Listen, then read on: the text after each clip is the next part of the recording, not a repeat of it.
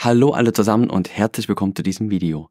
Heute sprechen wir darüber, was 2024 alles von den Kameraherstellern kommen wird, inklusive Objektive und was ich dieses Jahr besonders häufig benutzt habe, beziehungsweise was ich so ein bisschen oldschool-mäßig wiederentdeckt habe. Das erfahrt ihr ganz zum Schluss, also es lohnt sich hier unbedingt dran zu bleiben. Fangen wir an mit Canon. Ich habe jetzt gerade hier die R5 auch hingelegt, damit ihr sie sehen könnt. Denn mit der R5 habe ich in der Regel alle meine Auftragsarbeiten bislang gemacht und bin auch sehr glücklich darüber, was ich an Ergebnissen aus der Kamera herausholen kann. Canon arbeitet jetzt aktuell an der R3 Nachfolgekamera, also nicht nur an der R5 Mark II, sondern auch an der R3 Mark II. Und wir alle wissen, dass nächstes Jahr die Olympiade ansteht und da wird gemunkelt, dass sozusagen zum Start die R1 kommt, also das große Flaggschiff aus dem Hause Canon, man aber von vornherein noch einmal unterscheiden möchte zur R3. Wir erinnern uns, die R3 ist eine Kamera, die 6K Video filmen kann, die äh, einen sehr, sehr guten In-Body in stabilisierten Sensor hat und 24 Megapixel auflöst. Sie hat natürlich diesen eingebauten Hochformatgriff, das kennen wir alle von den teureren oder den Flagship-Kameras generell, wie bei der Z9 beispielsweise ähm, und auch bei der R3 ist das Ganze fest verbaut. Und ähm, ich kann verstehen, dass Canon Interesse hat, da nochmal eine Nachfolge zu setzen, einfach weil 24 Megapixel für die meisten dann doch etwas zu wenig ist. Außer die Sportfotografen und Fotografinnen, die am äh, Fußballrand stehen und die Fotos quasi direkt rausschießen müssen und direkt in die Agenturen geben. Da sind viele Megapixel, also eine hohe Auflösung, immer ein Problem. Ähm, oder ist zumindest problematisch nach wie vor noch und das sind weniger Auflösungen, kleinere Auflösungen äh, immer besser. Aber natürlich möchte man wahrscheinlich die User und Userinnen abholen, die vielleicht zur Z9 schielen mit ihren 48 Megapixel, die einfach nochmal mehr Auflösung bietet äh, und Geschwindigkeit parat hält. Und äh, wenn man zu Sony schaut, zum Thema Global Shutter, wird man auch da festgestellt haben, dass man vielleicht doch nachziehen sollte im Sinne von, wir bringen vielleicht Global Shutter in die R3 Mark II und setzen uns nochmal dazu ab zur R1, die vielleicht eine höhere Auflösung bieten kann. Das wissen wir alles noch nicht, aber die Kamera soll äh, Gerüchten zufolge Anfang 2024 veröffentlicht werden und äh, mich würde interessieren, welchen Weg da Canon geht. Äh, wenn ihr da interessiert seid, dazu ein Video zu sehen, hier schreibt mir das gerne hier in die Kommentare. Bleiben wir im Hause Canon. Canon möchte natürlich nicht nur die R3 Mark II Nachfolge bringen, sondern auch endlich ein 35mm 1.2 Objektiv. Ich persönlich finde es ein bisschen schade, dass man die 1.4er Reihe immer noch nicht aktualisiert hat. Also ich habe jetzt hier das 35mm 1.4 dran. Das ist noch das, das alte EF-Objektiv, weil es nativ kein RF 35mm 1.4 gibt. Es gibt das äh, 1.8er und äh, man könnte auch von anderen Herstellern mit dem EF, EF-Mount adaptiert noch andere Versionen nutzen, aber ich persönlich mag den Look von 35 mm 1.4. Äh, aus diesem Grund habe ich auch das Sigma hier. Das habe ich wirklich jahrelang benutzt. Also das hätte ich mir auch sofort gekauft, wenn es mir runtergefallen wäre, ähm, weil es einfach ein so gutes Objektiv ist vom Preis-Leistungs-Verhältnis her super ist, ist wirklich toll. Ähm, man, man kann damit so viel machen, man kann damit toll filmen, man kann damit super fotografieren. Du bist damit sehr flexibel unterwegs, denn 35 Millimeter kann ich in fast allem einsetzen, von Landschaften bis hin zu Porträts und auch noch freistellen mit offener Blende. Das ist schon ziemlich gut. Und das hat Canon bislang nicht leider aktualisiert, sonst hätte ich mir, glaube ich, schon längst das RF 35mm 1.4 dann zumindest mal angeschaut. Ähm, denn selbst die alte Version ist schon richtig gut noch. Also es, für mich gibt es aktuell keinen Grund abzugraden, aber natürlich sind die neuen Gläser, die, die, e, die RF-Gläser natürlich noch mal ein bisschen besser und äh, ja, haben einfach noch ein bisschen mehr Leistung im Bild, keine Frage. Aber die alten Gläser sind immer noch gut, die machen deshalb keine schlechteren Bilder. Aber wie gesagt, Canon arbeitet wohl an der 1.2 Variante, ähm, ähnlich wie wahrscheinlich Sigma. Die haben ja seit vielen Jahren dieses 35mm 1.2 Objektiv für den Sony E-Mount am Markt und das ist ein sehr, sehr gutes Objektiv, aber eben sehr groß, sehr schwer und auch vergleichsweise dann schon recht teuer.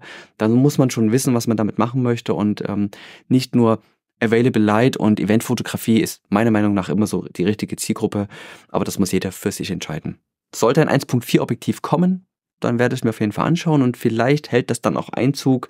Ähm, und, aber es wird sehr schwer sein, gegen dieses Objektiv anzukommen. Also da muss das schon nochmal deutlich besser sein und nicht nur ähm, ein bisschen schärfer. Also da muss schon auch in den Rändern so ein bisschen mehr noch, einfach ein bisschen mehr Schärfe und noch ein bisschen mehr Detailtreue da sein.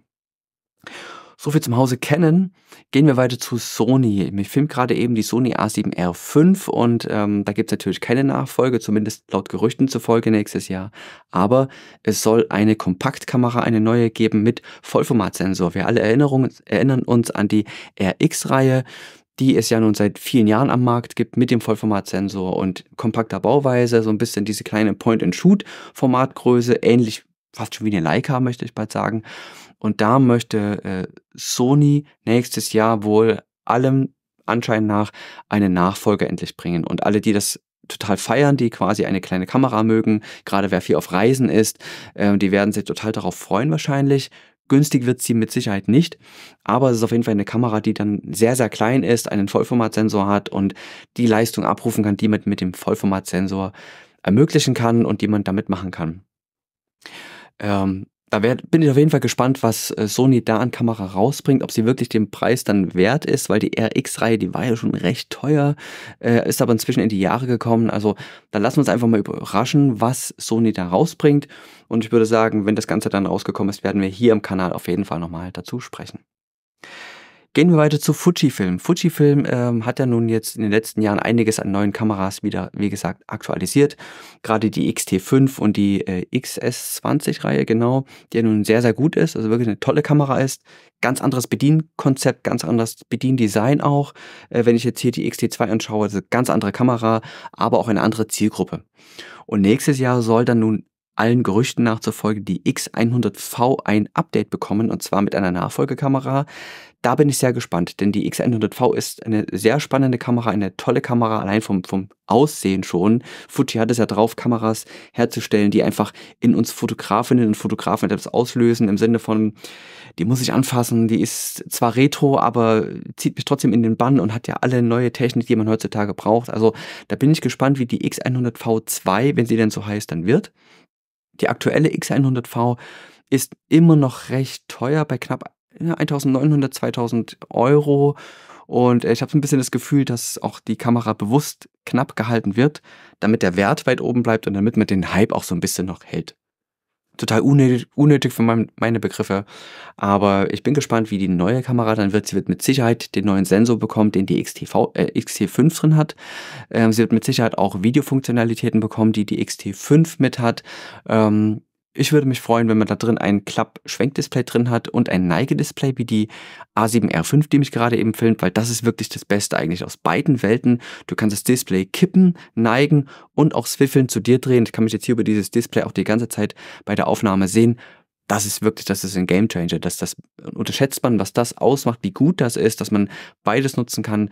Da würde ich mich freuen und ähm, die X Pro und XE-Reihe soll ja nun auch abgegradet werden. Also ich denke nächstes Jahr, wenn die Kameras kommen von Fuji und ähm, vielleicht eine Aktion kommt, dann glaube ich, werde ich vielleicht nicht widerstehen können. Also die XT2 ist ja nun eine sehr gute Kamera. Ich nutze sie vor allen Dingen sehr für private Sachen, also weniger für Auftragssachen.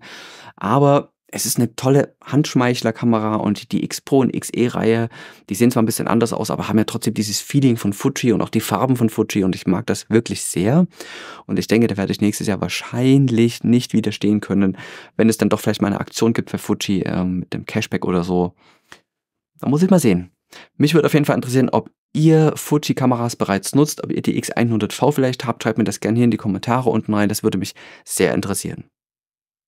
Ja, dann habe ich zu Beginn versprochen, dass wir doch über das sprechen, was ich dieses Jahr besonders oft benutzt habe, also an Equipment und was ich wiederentdeckt habe. Und ich muss sagen, ich hatte dieses Jahr tatsächlich immer öfter die Sony für speziellere Sachen in der Hand, also gerade auch für Porträts. Und ihr kennt mich, ich nutze in der Regel immer die R5 standardmäßig für Porträts weil mir einfach der Autofokus gefällt, weil mir die, die Farben gefallen, weil mir die Hauttöne gefallen bei Canon und weil einfach alles im Gesamtpaket für mich ein bisschen besser im Workflow ist als mit der Sony. Mit der Sony filme ich vor allen Dingen sehr gern und sehr viel. Ähm, also ist das ein bisschen aufgeteilt. Und ich habe dieses Jahr tatsächlich viel öfter oder immer öfter die, die A7R5 in der Hand gehabt, weil einfach die Hauttöne bei Sony so viel besser geworden sind. Sie sind nicht mehr dieses orange-gelbstichige, wie sie noch bei den letzten Kameras waren. Also seit der A7 IV und seit der A7C ähm, ist das deutlich besser geworden. Also für mich total anders geworden. Das heißt, man kann auch des Öfteren mal diese Kamera benutzen für Porträts, auch wenn es eine Geschmackssache ist. Und ich habe nicht nur die Sony unerwarteterweise öfter in Hand gehabt. Ich habe auch das 35 mm, ich habe es ja vorhin schon ein bisschen gezeigt und drüber gesprochen, das 35 mm von Canon, das 1.4er, das das Gute, das L-Objektiv dieses Jahr mit äh, dazugeholt, weil ich einfach von dem Sigma schon immer begeistert war. Aber der Autofokus bei dem Sigma, kannst du mal zeigen, der Autofokus bei dem Sigma nicht so gut ist wie bei dem Canon. Also der ist, der Canon Autofokus vom 35er ist nochmal einen Ticken schneller einfach, einen Ticken treffsicherer und was noch viel wichtiger ist, ist die, die, die Bildleistung. Denn das Canon 35er hat einfach die besseren Farben. Also das, das Sigma ist ja nun, also Sigma generell ist bekannt dafür, dass die Farben ein bisschen anders aussehen, meistens etwas wärmer, etwas wärmer, als man das so kennt. Und jetzt kannst du sagen, ja, du kannst natürlich im Nachhinein in der RAW-Datei den Weißabgleich ändern und dann hast du dann den Look, den du möchtest. Ja, nein. So einfach ist das nicht. Also das, das Bild hat schon einen sehr eigenen Look, einfach diesen Sigma-typischen Look. Und ich muss sagen, die, die Canon-Objektive, die sehen eben auch wieder eigen aus. Und das hat mir sehr gefallen. Ich hatte dieses Jahr auch ein Shooting äh, im Sonnenblumenfeld. Da habe ich das Ganze nochmal eins zu eins verglichen. Gleiche Kameraeinstellung, gleiches Motiv. Und der Unterschied war schon heftig. Also die Bilder sahen nicht nur anders aus in der Farbgebung, sondern auch heller. Also das denkst du eigentlich gar nicht, wenn du beide 35 mm Objektive hast, gleiche Blende, gleiche Verschlusszeit, gleiche Kamera dahinter, alles gleich. Und das Foto mit dem Sigma-Objektiv äh, sah deutlich dunkler aus als das Foto mit dem Canon-Objektiv. Und da war für mich klar, also ich kann quasi gar nicht mehr zurückgehen zum Sigma, obwohl das so gut ist.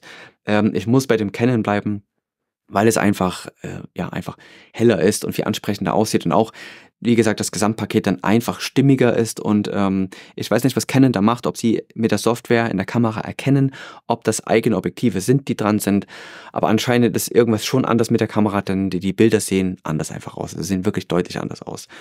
Aber das heißt für mich, ich habe eine gute Entscheidung getroffen und äh, ich werde sehen, was Canon nächstes auf den Markt wirft, ob es das 35er 1.2 gibt und kein 1.4er da werde ich mal sehen, wo der Preis liegt. Er wird wahrscheinlich sehr unverschämt hoch liegen. Dann, dann werde ich wahrscheinlich, mh, wahrscheinlich noch nicht zugreifen, ähm, weil wie gesagt, der, der Nutzen muss auch stimmen am Ende. Und ähm, wenn es das 1.4er gibt, dann werde ich definitiv mal nachschauen, ob es besser ist als dieses Objektiv. Und dann werden wir uns hier zu diesem Kanal auf jeden Fall nochmal darüber unterhalten.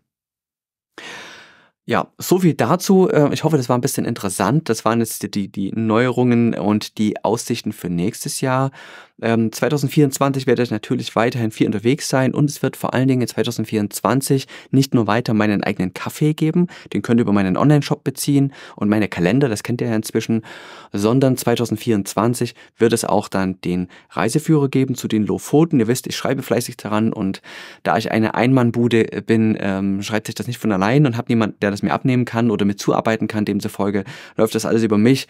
Und ähm, ich werde quasi in Korrespondenz mit LMC und mit Matthias mit des Öfteren nochmal abgleichen, dass es quasi am Ende auch rund ist. Aber die eigentliche Schreibleistung, Arbeitsleistung kommt dann von mir. Demzufolge ist es so, dass es noch etwas dauert. Da bitte ich euch noch ein bisschen Geduld. Einige von euch haben mich gefragt, wann kommt er denn? Und sie wollten ihn dieses Jahr schon zu Weihnachten verschenken. Ähm, das wird natürlich nichts. Dafür ist es einfach dann, ja, einfach noch viel zu äh, wenig fortgeschritten, das Projekt.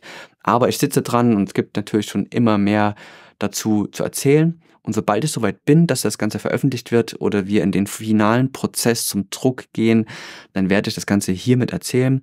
Und ich werde es auch auf Instagram zeigen. Das heißt, es lohnt sich, auf meinen Instagram-Kanal zu schauen, dort mir zu folgen denn dort werde ich des Öfteren auch in den Stories Updates zeigen, nicht nur zu Kameras, Objektiven, für Fotonerds, sondern auch für die Reiseberichte, die ich schreibe, beziehungsweise generell, wenn ich unterwegs bin und es gibt etwas Neues, Wissenswertes zu hören, dann schaut dort gern vorbei. In meinen Stories wird das, wie gesagt, aktuell immer wieder veröffentlicht. So. Ich hoffe, das Video war etwas informativ. Ich, konnte, ich, ich hoffe, ich konnte alle ein bisschen abholen, also alle Canon, Sony, Fuji-User. Ich hoffe, ihr seid jetzt auf das Neueste eingestellt. Und dann würde ich sagen, vielen Dank fürs Zuschauen, vielen Dank für die Unterstützung dieses Jahr im Jahre 2023. Und dann sehen wir uns im nächsten Video. Bis dahin würde ich sagen, tschüss.